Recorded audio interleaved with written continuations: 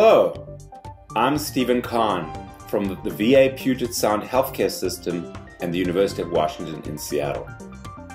It is my pleasure to invite you to join me at this year's American Diabetes Association virtual 81st Scientific Sessions, which will be taking place from June the 25th to the 29th.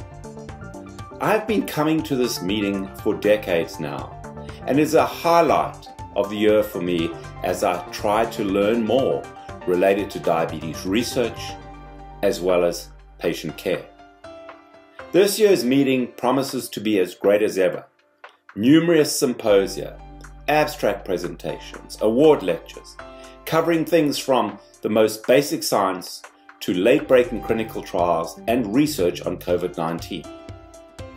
It will be my distinct pleasure to participate in some of these sessions and particularly announcing some of the results of the GRADE study that is being completed as we speak and will be presented on the Monday evenings at the meeting.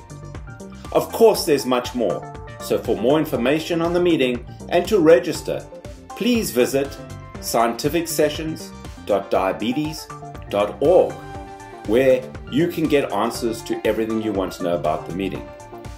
And while I'll miss seeing many of you at the meeting, I do look forward to seeing you virtually at this year's ADA 81st Scientific Session.